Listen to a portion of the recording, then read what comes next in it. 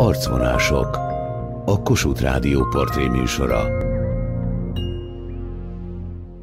Köszöntöm Önöket, Varga Júlia vagyok. A mai vendég Boldogkői Zsolt professzor, molekuláris biológus, a Szegedi Tudományegyetem Orvosi Biológiai Intézetének tanszékvezetője, aki egyáltalán nem él a tudósoknak emlegetett elefántcsontoronyban. Sőt, az oktatás és a kutatás mellett konfliktusokat is vállalva lép fel az áltudományos törekvésekkel szemben. Közösségi oldalakon, személyes találkozókon, tévés vitákban áll ki a valódi tudományos eredmények elismeréséért. Tiszafüreden milyen családba született? Tiszafüreden egy szülő otthonba születtem, ami már nem létezik. Valójában Tiszanánál laktunk mi annak idején. Egy nagyon rövid ideig aztán elkezdtük a hosszú, sok-sok éves bolyongásunkat. De miért? Mit csináltak a szülei? Apám narratívája szerint nem illet bele az akkori rendszerbe, és mindig kigolyózták, és azért menni kellett iskoláról iskolára.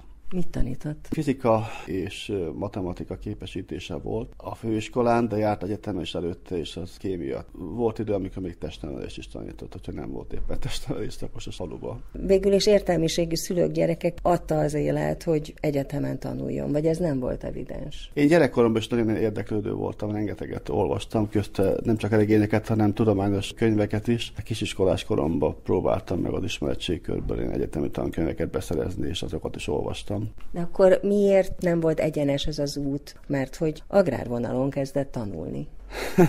Debreceni Egyetemre jártam. Ugye ott ilyen ökológiát tanultunk, sajnos nem volt túl jó a színvonal. És de Szegedi Biológiai Központba akartam igazából én jönni, csak az volt akkor a rémhír, vagy nem tudom, hogy aki Debrecenbe végez, azt nem fogadják itt. Úgyhogy találtam egy ilyen kikerülő utat, elmentem az Óvoda TS kertészeti ágazatához, ahol, ahol egy évre elküldtek engem ide az SBK-ba. De utána ugye le kellett dolgoznom, még ott a maradék két éve ment, amit aláírtam. Úgy. Mi valami ösztöndíj volt? Vagy... Lényegében volt ilyen, mindig van, csak nem olyan népszerű, mint régen, ez a ilyen nemzetközi tanfolyam, és akkor a világ minden részére jönnek ide. Rengeteg külföldivel voltam együtt. Tehát egy tanfolyam, amit nekem az Óbuda TS fizetett. Hogy került az Óbuda TS-be Tiszanánáról? Vagy nem tudom, ott már még hány utat jártak be addig? Hát ugye a fiatal embereknek a döntését sokszor nem teljesen a ráció szabályozza most. Biztos lányban van a dologban. Mondjuk így, igen. Igazából meghirdettem akkor magamat a HVG-ben, és kaptam rengeteg ajánlatot, és mondjuk úgy, hogy az Óboda TS-nél fogadtak a legkedvesebben. Dísznövénynemesítés volt a, a téma, de ezekkel a modern molekuláris és sejtbiológiai módszerekkel, amit elvileg a Szegedi itt az SBK-ba kellett, hogy megtanulja. Mi ez az SBK, ha valaki nem igen, Szegedi? Igen, ez a Szegedi Biológiai Központ pont, ez molekuláris biológiában a Magyarországon azt lehet mondani, hogy a legjobb ilyen intézmény még ma is. És hát így kerültem oda, egy dísznövény nemesítés, nagyon szép környezet volt, fiatal emberek a környéken, virágok mindenütt. Csak aztán jöttek olyan éjszakák, amiket átgondoltam, hogy igazából, hogy az ember egy fajtát kinemesítsen, az 35 évbe telik. És hogy átgondoltam a pálya ívemet, mondjuk, ha esetleg nem sikerül, nem fogadják el ezt a fajtát, akkor mondjuk 35 évig igazából totálisan fölöslegesen dolgoztam. És akkor elhatároztam, hogy pályát váltak, és így kerültem Igödölőre a Biotechnológiai Kutatóközpontba. De mehetett volna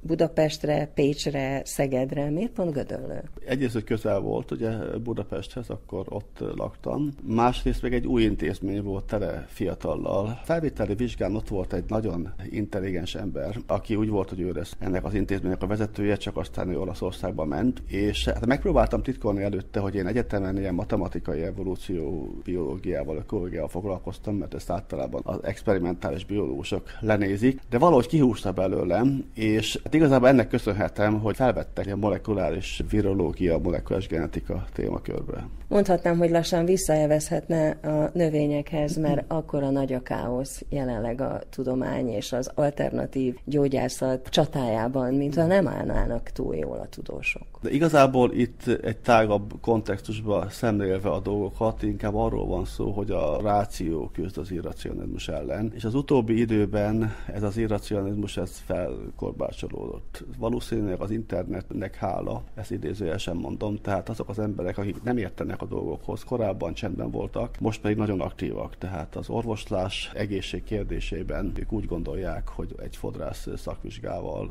egy hiteles véleményt tudnak mondani, és hogyha az ember felhívja a figyelmet arra, hogy valami nem úgy működik, ahogy, ahogy gondolja a köztudat, akkor olyan vehemenciával mennek nyilvánosan az embernek, hogy csak na. Pedig maga, mondhatnám, hogy igazi Don Quixote eltökéltséggel küzd az úgynevezett alternatív gyógyászat propagandájával szemben, miközben itt az egyetemen, az orvosi egyetemen egy olyan tanszéket vezet, ahol a bizonyítékok és a kísérletek adnák azt, amit állít. Kettő egymással abszolút összefüggésben van. A Don Quixote-séget az annyival módosítanám, hogy azért a szkeptikus társaság az már régebb óta küzd ezeken a dolgok ellen, ami újdonság is szerintem az, hogy a szakmából, tehát egy orvoskari professzorként lépek fel ez ellen, és ezért tűnik ilyen Don Quixote-ségnek. Nekem egy speciális stratégiám van ebben a, a kérdésben. Érdekes módon a szkeptikus társaság képviseli a szakmát úgy, mint tudományt, tehát ők elemeznek cikkeket, ők, ők abszolút részletességgel megmondják, hogy mi a hiba.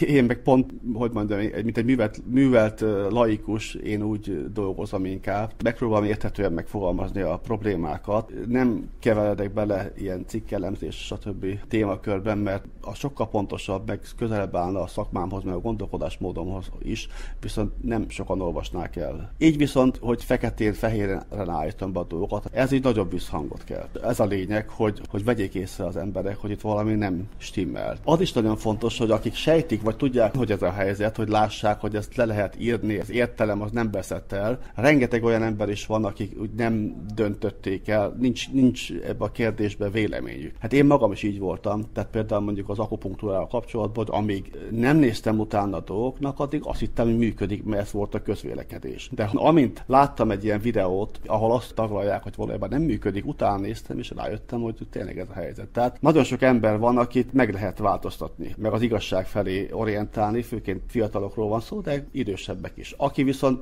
már magáévá tett valamilyen ilyen nézetet, azt, azt nem nagyon lehet kizökkenteni ebből. Ha már a tudomány vonalán elindult, és itt az ember orvoslására tért át a növényekről, mi a maga specialitása? Bevallom, kicsit félve kérdezek rá. Hát én az életben nagyon sok mindent végigpróbáltam. Meg fog lepődni, nekem Kovács szakvizsgám is van, közgazdasági diplomám is van, evolúció, biológiával, ökológiával foglalkoztam, a diplomám is az ökológia lényegében, matematikai biológiával, növényi genetikával, és akkor utána mentem át erre a mikrobiológia, genetika, de aztán Németországban is, meg együttműködésekben és hogy emberi betegségekkel, az emberi szervezet működésével is foglalkoztam, emlős állatokkal. Tehát igazából a, a nagy doktorim, az akadémiai doktorim az, az három területet foglal magába, a mikrobiológia mellett a neurobiológia és a molekuláris genetika. Ez a jövő? Vagy egyszerűen csak valamiért magánál ez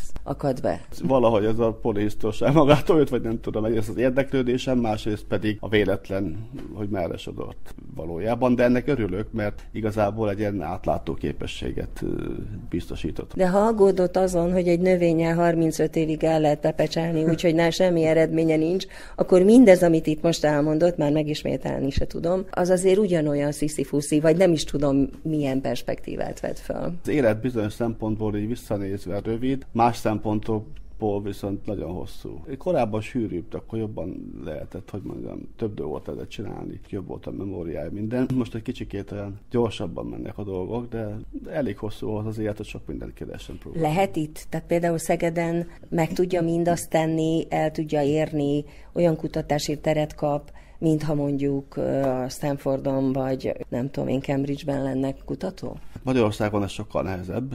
Itt a pénzügyi háttér is problémásabb. Ha már a Stanfordot említette, akkor elmondanám, hogy igazából mi a Stanford Egyetemmel kollaborációban vagyunk. Egyik munkatársunk jelenleg is kint van és gyakran kijár. Én is megyek ki egy hét múlva. Majdnem 20 közös cikkünk meg is jelent ebből. Ott a genetikai intézetben van egy világhírű genetika professzor. Vele dolgozunk együtt. Van most már együttműködésünk egy a pszichiátria tanszéken ott. Meg a Cornell Egyetem figyelemmel kezdtünk most el egy ilyen Alzheimeres témába való együttműködést. Az, az New Yorkban van. És ebben az együttműködésben rejlik az, hogy esetleg hamarabb tudunk felmutatni valami eredményt? Persze. A tudományban úgy van, hogy mi területünkön, ugye mondjuk tegyük fel azt, hogy egy emberi betegségről van szó, az egy nagyon erősen interdisziplináris terület, ami az orvosoktól kezdve molekuláris biológusok, molekuláris genetikusok, bioinformatikusok, agykutatónak a közös munkája, tehát az egyik része ez a dolognak. A Stanfordon egy ilyen speciális helyzetünk van, ott van egy, ez a professzor, ez viszonylag nagy hogy mondjam, költségvetéssel dolgozik, és gyakorlatilag az ő kérdése az, hogy na, mi az ötlet, és akkor mi megcsináljuk. Maga, mint oktató, a szigorúak közé tartozik, jó sokat buktat, most, hogy így közeledünk a vizsgaidőszakhoz. Sem én, sem a munkatársaim nem vagyunk azok a tekintély parancsoló professzorok. Mind a vizsgákon, mind az előadásokon én szerintem jó hangulat uralkodik. Ami viszont az értékelés szigorát jelenti, az valójában egy kettős dolog. Nálunk nagyon nehéz elérni jó jegyet, viszont megbukni is nehezebb.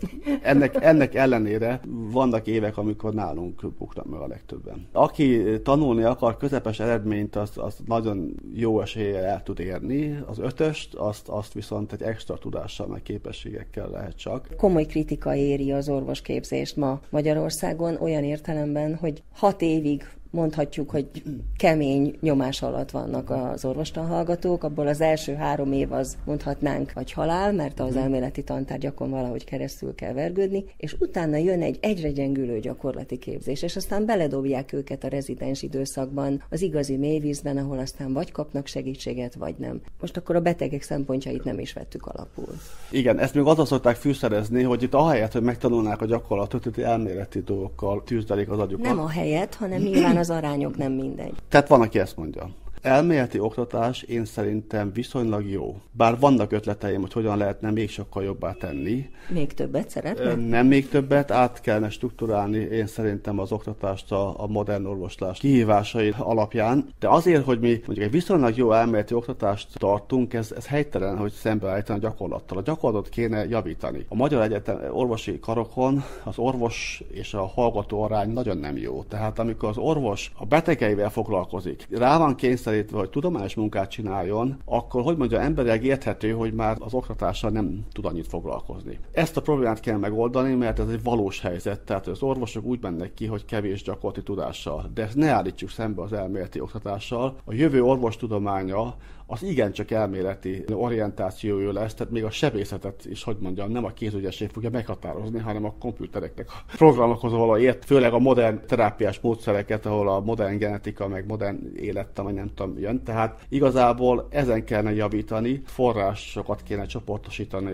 ide, és úgy lehetne megvalósítani, hogy lennének itt emberek a klinikákon is, akik kifejezetten a hallgatókkal foglalkoznak, de hát ez, ez, ez eléggé inkább pénzkérdése, mint akarat. Azt mondja, hogy az elméleti képzés képzés nagyon jó. De hát azért találkozunk a különböző egyetemeken mindazzal, amit maga szeretne bebizonyítani, hogy az nem tudományos. Említette az akupunktúrát. De hát van olyan egyetem, ahol tanítják a kínai orvoslást. Megint visszatérek arra, hogy a tudomány hogy kommunikál az átlagemberrel.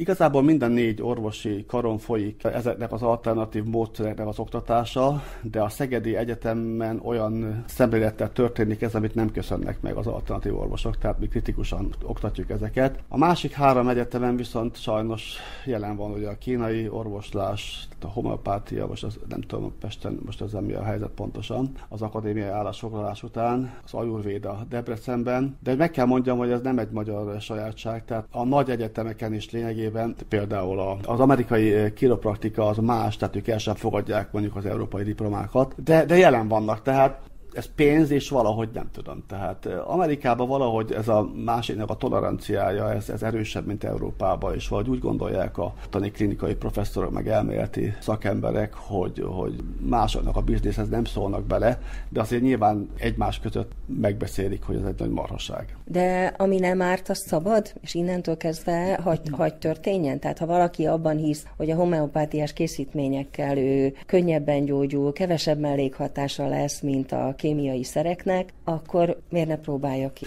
Hát itt lényegében nem arról van szó, hogy a személynek a szabad választási jogát kellene korlátozni, hanem azokat a gyógyszernek minősülő, vagy ugye nem gyógyszernek nevezett, de a köztudatban a egészségre ható szereket kellene olyan szabályozás alá tenni, mint ami hagyományos gyógyszerek. Tehát a gyártóknak kellene bizonyítani hasonlóan a gyógyszerekhez, hogy ezek tényleg egyrészt hatékonyak, hatásosak, másrészt pedig az, hogy nincs komoly mellékhatásuk.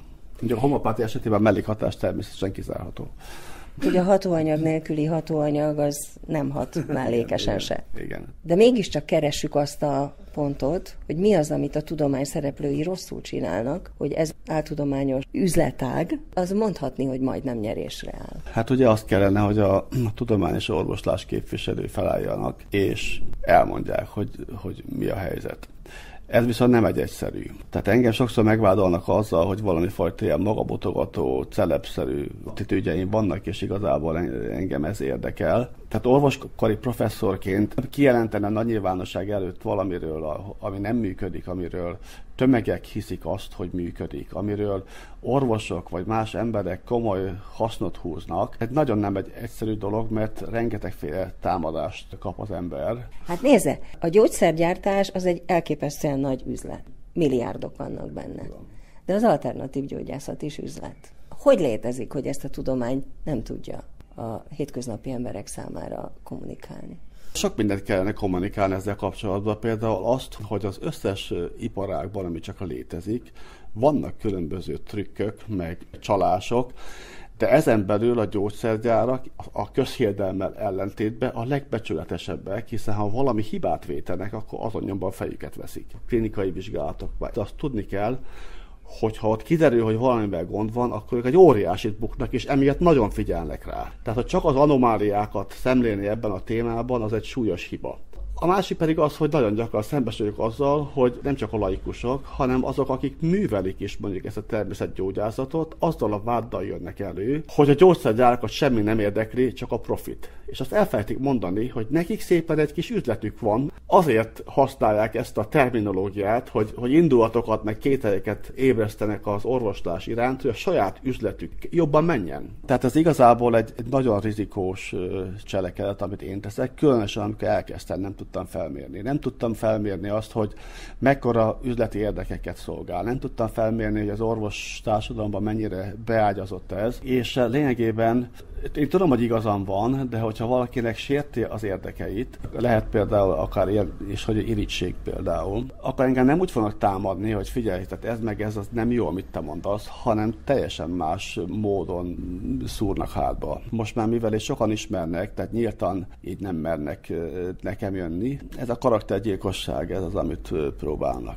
Lehet, hogy egyszer sikerül is majd valami áll dologgal. Fölmerült már magában, hogy nem itt folytatja, hanem valahol máshol a világban? Elszaladtak az évek, most már nem lenne könnyű. Annak idején hoztam egy döntést, hogy hazajövök, akkor lett volna még egy másfajta alternatíva, most nem, most nem tudom. Hát remélem, Szeret itt lakni Szegeden? A Szeged nagyon jó. Szeretem a légkört, tehát itt szabadabb, sok intelligens ember van körülöttem, tehát igazából jó hely, igen.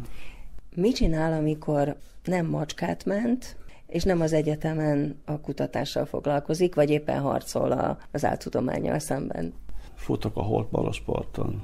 És a gyerekek? Külföldön tanulnak, pontosan az egyik az, az már dolgozik, az idén végzett, a másik még tanul.